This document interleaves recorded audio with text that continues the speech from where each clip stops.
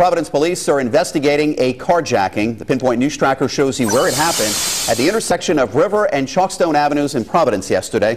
Police say two young men had driven there to sell someone an amplifier they had posted on Craigslist. Investigators say they were met by a group of eight people who assaulted the victims and took off with their car. It was found a short time later in the west end of the city.